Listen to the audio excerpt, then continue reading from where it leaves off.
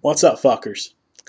Been quite some time since I did a video before the game, but seeing as Miami is playing in their first ACC championship game Saturday night, it feels very necessary. The Miami Hurricanes playoff starts Saturday night. Flat out. Win, you move to the next one. And honestly, this kind of feels like it should be like the, the battle of the white boy receivers, seeing as, you know, Braxton Berrios for Miami. Uh, basically a homecoming for him. And I think he's going to play very well Saturday night, playing, you know, close to his family. He's going to want to show out. And then Hunter Renfrow for the Clemson Tigers, who had his moment in the sun in the last year's national championship. This is going to be a battle, flat out. Clemson is the defending champion very talented team. This is basically a home game for them.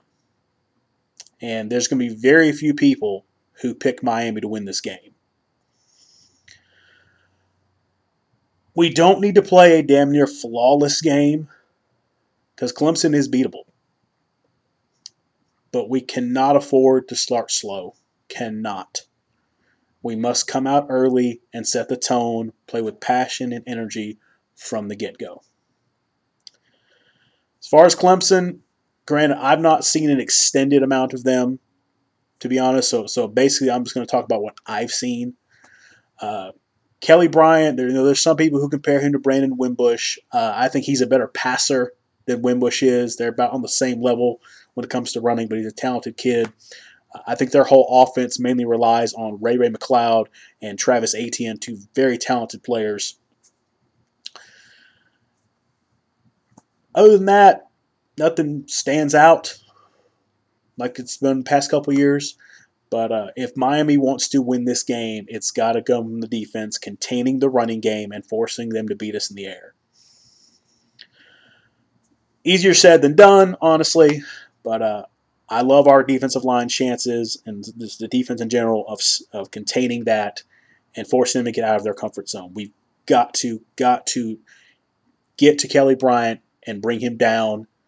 A couple turnovers would be great, but that's going to be the biggest thing in this game. We, I, I, I, Bryant's going to make some throws. That I know. But can he win just solely on that? That's the question.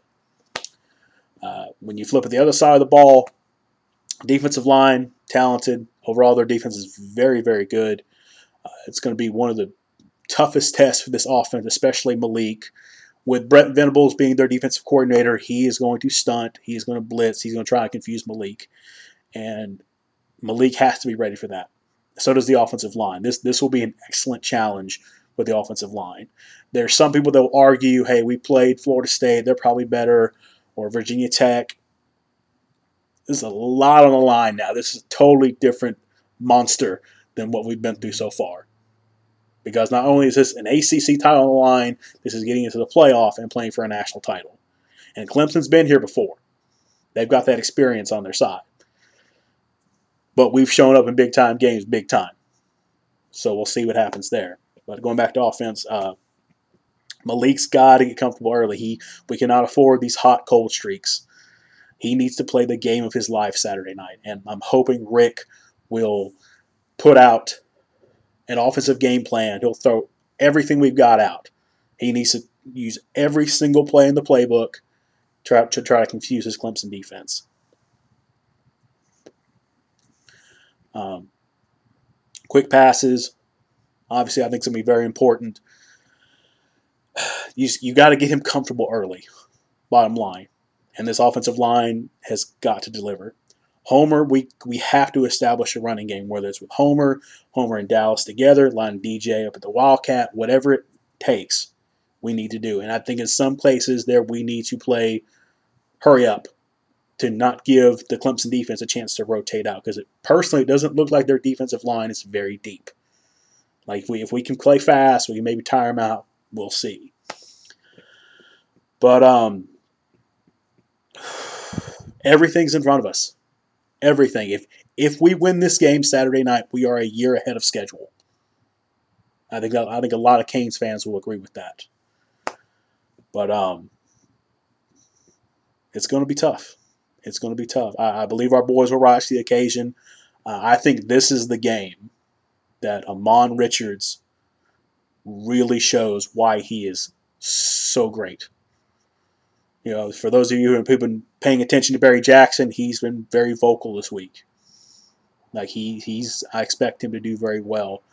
Uh, spe- our special teams go and look, Clemson, uh, kind of us and Clemson are kind of eh. Uh, so it wouldn't surprise me if Jeff Thomas takes can try, try and take one to the house, or at least try and give us a really good field position. But um, we got to play mistake-free football. We cannot turn the ball over. Cannot. Got to hit him in the mouth early and keep him there.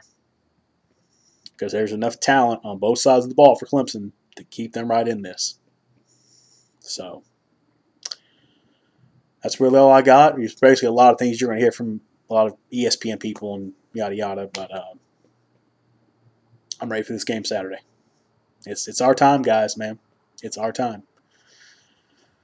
So with that said, go Canes, all about the U. And uh, I guess there's only one thing left to do. Win the whole fucking thing.